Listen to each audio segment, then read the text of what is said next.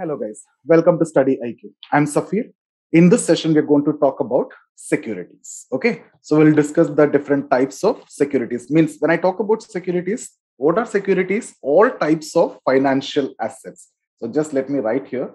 All different types of financial assets is what we are going to discuss in this. So uh, I've seen many of you have confusion when I used to discuss about preference shares, right? An ordinary share or equity shares, debentures, convertible debentures, treasury bill, dated securities. In our previous sessions, especially when I talked about uh, the, you know the Basel norms, there I have mentioned about preference shares, etc. And then some of you had this confusion and you have uh, asked me about this. So that's the reason why I thought I'll be covering it separately, separately in an extensive video for this. So when I talk about securities, I'll be talking mostly about the bonds and the shares. Okay. So what are bonds? What are shares? And what are the different types of bonds? What are the different types of shares is what we are going to look for. So when I talk about bonds, bonds can be of uh, government bonds, right? and then we can have the corporates bonds or the private bonds so corporates also issue the bonds now when you talk about the shares i'll talk about different uh, two types of shares normal ordinary share or the equity share right and the preference share so guys when i talk about preference share and ordinary share these are two different instruments it's not that some person got some preference over the other no, nothing like that. Okay. If you're holding these two, means these are two different entities, two different assets. In fact, these are financial assets. All securities are financial assets. So I'll just write here ordinary share, that's the normal equity share. And then we have preference share. So those people who have the preference share, they have some preferences on, you know, claim on dividend while uh, companies getting liquidated when you are selling the assets of the company they'll get preference. It's not that the person who have some preference will get the preference share. Okay so these two are two different assets two different categories. You will understand it soon okay? And the you know the preference will matter right? So when the company is liquidated and assets of the company is sold when the company is going bankrupt or something in that situation then the preference shareholder will get a preference over the normal shareholder even in case of dividend also. In case of small profits when you are distributing the dividend preference shareholder will get it. Okay? So i'll be coming to that in detail. Now when you talk about the government bonds we have two types again. We have the short term and then we have long term right? So the short term bonds is what? Treasury bills. So this is the treasury bills. Guys understand it here itself then there is no point in you know reading any textbooks and that will make you confused. So i'm making it in a structured way so that you just remember this structure which i'm going to give and then it is going to be very easy. So government bonds short term bonds is what treasury bills. You have a claim on the treasury. I'll come to that. And then long term bonds is what you call as the dated securities. Okay? Dated securities. Now when it comes to the corporates we have uh, debentures right? I'll talk about debentures okay and then uh, for larger companies right then it will be high net worth company okay? Uh, there will be commercial paper and if it is a smaller company there will be commercial bills. I'll talk about that. And sometimes this debenture can be converted into share. So that is what? Convertible debentures etc so we will be discussing about all these so I just want you to have an idea about the structure. So when I talk about securities, what do you mean by securities? These are nothing but the financial assets. All types of financial assets you have are considered as securities. And mainly we talk about bonds and shares. Okay, so when it when we talk about bonds, government bonds are there, and then corporate bonds are there. So short term and long term. Short term is treasury bills, long term is what dated securities corporates debentures convertible debentures commercial paper, commercial bill, etc. When we talk about the shares, the actual owners, their share, that's the ordinary share. And then that is the same as that of equity share. And there are some preference shares also. Okay, so we will be talking about this in this particular session. So let me talk about what are bonds. So these are negotiable or tradable securities issued against loan. So you have been issued a bond by taking some money from you. So government is issuing a bond. that means you are paying money for that right? So government is raising fund by issuing the bonds. So you are actually giving loan to the government if you are a bond holder. Normally government will be giving it to the financial institution. So by selling the bonds government will raise money. So financial institutions what they do? They will be lending to government now guys there was a very important question which was asked in prelims right the question was something like this which among the following instrument by using which among the following instrument rbi compel the banks to lend to government. I'm talking about RBI compel the bank to lends to government. So, which among the following instrument and uh, options are like CRR, SLR, etc. So, guys, if you see SLR, you can manage SLR in three ways. Either you can keep in gold, or you can keep in cash, or you can keep in government bonds. Now, the problem with cash is you just keep it idle and you won't get any return. So banks never prefer this. You get 0%, just cash, keeping it there. Gold is superb. Gold is good. But the problem with gold is even if you keep gold with you, it is not taken on a current value, current basis. It is taken at a price, you know, constant price. So you won't get much return from gold also.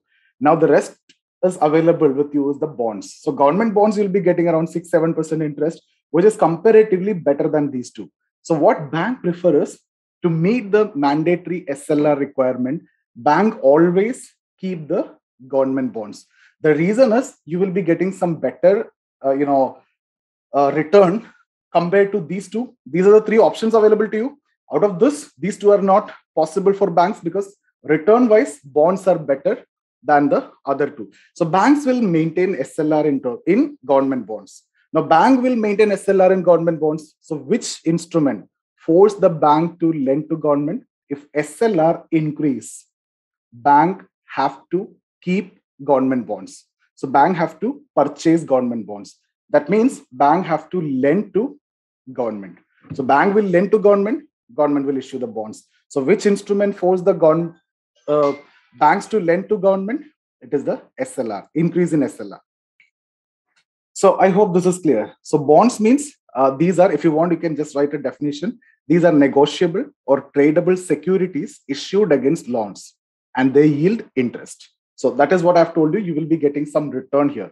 So because of that return only, banks maintain SLR in terms of bonds. Okay. Now, when we talk about bonds, as I've told you, let's talk about the government bonds. We have two treasury bills and the dated securities. So let's talk about the treasury bills. As I've told you, these are short term government bonds and these are issued for four maturities. So just write short term government bonds. Four different maturities are there 14 days, 91 days. If you remember, 91 days short term securities, the ad hoc treasury bill I've talked about uh, this one when we discussed about the components and the structure of budget. No, in budgetary deficits, I've discussed about this. And then later it was uh, changed to ways and means advances. Initially, there was some ad hoc treasury bills to meet the that deficit which is going to come in that 90 days, right? So I've discussed about that. So let's not get into that now. 91 days, 14 days, and then 182 days, and then 364 days. So this is this is for two weeks, and this is for three months, and then six months, and for one year. Easy to remember. So who's issuing this? These are actually issued by RBI. And who will be buying this? Bought by the financial institution. Can we buy this? No. These are not sold to general public. So these are not issued to the general public. These are issued to the financial institutions and issued by the RBI on behalf of government. So RBI issue the bonds and then raise fund, give it to government. Okay. Now, one money will be given from where? From the treasury. That's why these are known as treasury bills. You have a claim over the treasury upon these bonds. If you hold this bond, you have a claim over the treasury on the money that you have given, the loan that you have given. I mean, the financial institution. So these are treasury bills. Let's talk about the dated securities now. So, as I've told you, these are medium term and long term government bonds, right? Like, for example, if I talk about this Kisan Vikas Patra, National Savings Certificate, etc., these are these are issued through post offices okay and these are the two i think which is issued to the public only to public. These two are actually only to public and which is actually issued by the post offices. Banks also, other dated securities, banks. But these two are for public, right? These two are for public and issued by the post offices. Okay, so that's about the government and uh, government bonds, short term, treasury bills, and the dated securities. Now let's talk about the corporates. So here we will start with debentures. So if you want, you can just write one line as the definition here. These are bonds issued by corporates to the public or investor. So you are issuing, there's a bond or it's a security which is issued by the corporates to the public against long-term loans. So these are actually issued against any bond, as I've told you in the beginning itself, these are issued for, these are securities which are issued for loans. You are taking money, so you issue this as a security. And this will yield interest also. So debentures, the difference is earlier it was government, within that short term and long term was there. This is by corporates, same corporates raise fund by issuing bond, and this is like long term. Let's say 10 years like that. Okay. So debentures, if you want, just write one line. These are bonds issued by corporates to the public or investors against long-term loans, and they yield interest. So, guys, it will be like this. If TCS is issuing a debenture, their logo, their name, and everything will be there. And let's say rupee 1 lakh. Okay. And then they will mention the year, let's say 20 years. And then there will be, you know, let's say 10% interest. So 1 lakh is what you, or maybe make it as 10 lakh or whatever it is. So you hold this debenture of 1 lakh and 10% maturity is 20 years. So what you will be getting, you will be getting 10% every year. What is that return? 10,000 every year you will get. Okay, so company will pay you actually after 20 years. The 1 lakh which has been taken from you will be paid by the company after 20 years. That also you will get, and you will get the interest also. And as I've told you, these are negotiable or tradable securities. That means this is tradable. You can sell it in the stock exchange actually. So even before 20 year, if you want to liquidate it, so you bought the debenture by giving one lakh, and you know this uh, uh, return and everything is there. But if you if you want money immediately, and if you want to liquidate it, if you want to sell it, you can use a secondary market or the stock exchange to sell it. These are tradable securities, negotiable tradable securities, as I've mentioned in the beginning itself. Okay.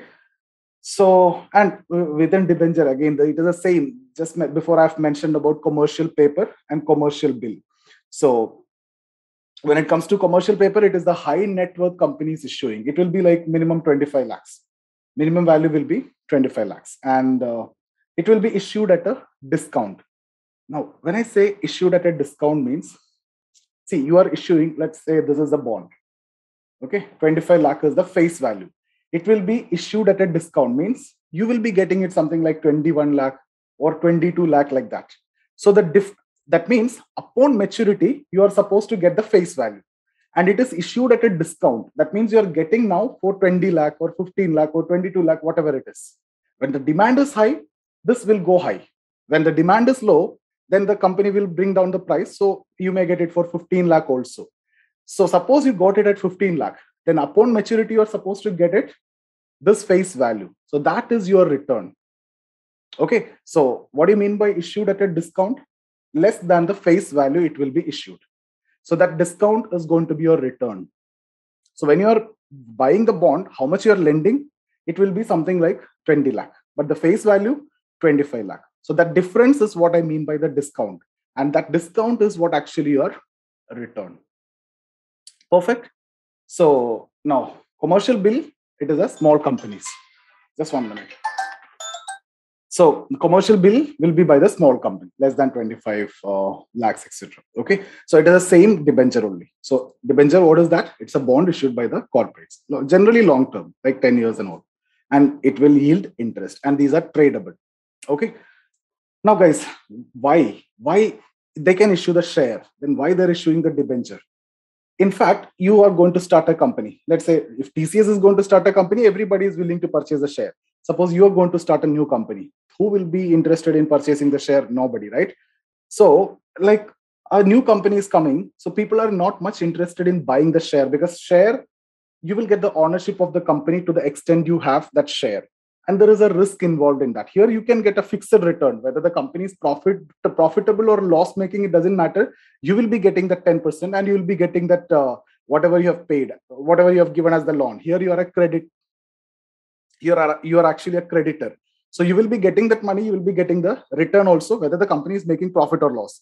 But if you are taking the share only if the company is making profit that too good profit. If it is a small profit it will be taken by the preference shareholder. I'll talk about that if it is some good profit, then you will be getting the dividend. So there is a risk involved. And if it is a loss, you will be losing also. So there is a risk involved. And you don't want to take that risk with the new company. So that is the reason why people prefer debenture.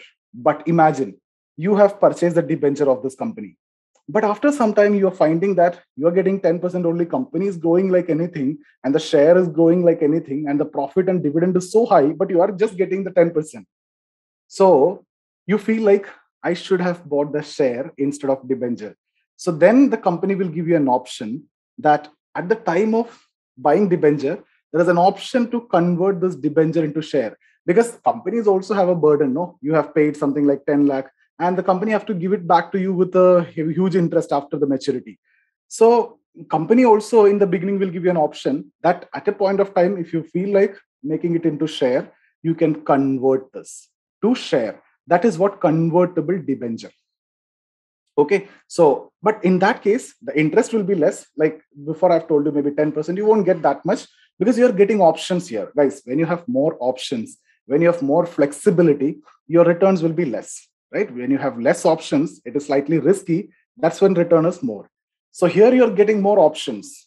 So your return will be less actually interest will be less.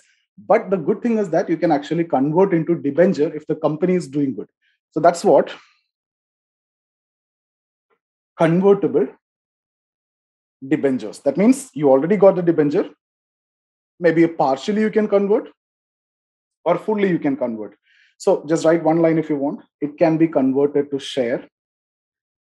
These are special type of debentures that can be partially or wholly converted into shares within a specified time period. Okay, so it will be mentioned by the time you buy the debenture itself. And the interest will be less compared to the normal debenture because you're getting more options. So obviously it has to be less. Okay, so now let's look into the shares. So as I've told you, we have securities, bonds, and shares. Bonds, we have done government bonds and corporates. Okay, now what is left out is that uh, um, commercial paper, commercial bill, etc. We have discussed, right? That's part of debenture only. So shares is what we need to discuss. So government bonds, short-term treasury bills, long-term dated securities, and then corporates, debentures, convertible debentures. High net worth company, commercial paper, and if not, small company, commercial bill. Okay, so now the shares. So shares, as I've told you, there are two types of share: normal equity share, ordinary share. Like when you when you buy a share of a company, Reliance, that is a normal share. What does that mean? Let's suppose you got uh, uh, 10% of the share. That means you have 10% of the ownership of that company and you have the claim of 10% of the profit of the company. So let's say the company is making, let's say 10 lakh profit. Out of this, let's say 30% is you're paying as corporate income tax. And let's say 7 lakh is the profit which is left out. So out of this 7 lakh, you have a claim of how much? 70,000 because you have the ownership of 10% so 7 lakh, 10% of 7 lakh belong to you. So the, to the extent of ownership you have, to the extent of share you have, that much ownership you have, and that much claim you have on the company, company's profit as well. That's the normal situation. What if it is lost? You are also liable for the loss. Okay. But in case of debenture holder, it doesn't matter whether the company is making profit. It is not going to affect you loss also not going to affect you. What you're going to get the 10% interest you have been promised. Okay? So that's what in case of debenture holder. What about preference shareholder? So if you if you want just write one line. Preference shares. These are securities issued by corporates which confers limited ownership rights not like ordinary shareholder or equity holder limited ownership rights to their owners and usually no voting rights. But the equity holders or the ordinary shareholder, they have the voting rights to the extent of ownership that they have. If more than 1% is there, they will be called for voting and everything. Okay, to the extent of ownership they have, they have the voting, they have the claim over the profit and everything is there. So here, usually no voting rights, but in some cases voting rights is given, but usually there is no voting right, okay? So they yield a fixed dividend. Fixed dividend, like in debentures I have talked about, fixed interest. So here, fixed dividend. That's not the case with normal shareholder. It depends on what the profit you're getting and percentage of profit is what they get. So here, there will be some kind of fixed dividend. So here, it, if there is no profit, there is no dividend. If there is profit, there will be fixed dividend, not in proportion of their shareholding, right? So if there is no profit, nothing. Small profit, they get a fixed dividend. Debenture, no profit also, you'll get a return. Normal shareholder, no profit, nothing you will get. Low profit, nothing you will get because preference shareholder will take it. Somewhat higher profit, they will get based on the share that you have. Okay. So just write one more line. They have preference over shareholders in distribution of dividend. So when the dividend is when the profit is distributed, first they will get. Same way, if the company is liquidated, I mean, if the company is going bankrupt, then to meet the claims of others, there will be creditors, there will be debenture holders. They're actually the creditors. They are given loans to you. They, when they're buying the bonds, debenture is a bond. When they are taking the bond, it is a loan which is given. So they are the creditor. So you have to meet the claim of the creditors first. For that, you have to sell your assets, right? So during the time of liquidation of the company or winding up of the company or while you're selling the asset, first claim go to the creditors, like the banks or institutions which have given you loan or the debenture holder. Second claim goes to the preference shareholder. Last claim, if something is left out, that's what the ordinary shareholder will get. So in case of dividend, they have the preference. In case of uh, liquidation also, they have the preference. That's why preference shareholder. These two are two different entities. These are not, you know, preferential person. Somebody who's holding this share is a preferential person. Not like that. These two are different entities. Their functions are also different, right? Their values are also different. Okay, they're both are different. So what we have mentioned is distribution of dividend, there will be preference, as well as our assets of the company during winding up. They have the preference. So, like if you have, if you're a normal shareholder, you will get the last preference while the liquidation of the company. Preference shareholder, they will get the second last. Who will get the first? Creditor. That means those who have given loans, they will get the first preference, like the banks or the bond holders or the debenture holders. They'll get the first preference. Okay, after that, preference shareholder. After that, only shareholder will get the preference. I hope this is very clear to all of you. There is actually there is no need to have any confusion. So shareholder, what they get, they get the dividend. Like as I've told you here, if the company is doing good, if the company is doing great, shareholder will get the dividend based on the percentage of shareholding that they have. Let's say you have 10% of the shareholding, entire 10% of profit will be given to you. But preference shareholder, there is a fixed dividend, right? Debenture holder, there is a fixed interest. There is a fixed dividend here. Their fixed interest is there. But normal shareholder, there is nothing which is fixed. If the company is doing really good, they'll get a good profit based on the percentage that they have, ownership of ownership percentage that they have. So now I'll talk about this once again. If there is no profit, okay, still if even if the company is loss or no profit loss or no profit still who will get the creditor the bond holder the debenture holder will get the interest if the company is making small profit still the creditor have to get the 10% return and the preference shareholder also will get that fixed dividend because there is a small profit that will be anyway going as dividend and that will they, they have the preference claim so they'll get the first claim on that dividend if good dividend is there i mean good profit is there then the creditor will get, preference shareholder will get, and the shareholder will get, but they'll get good based on their percentage. So who's having more risk? Ordinary shareholder. Because while liquidating the company, they'll get the last claim.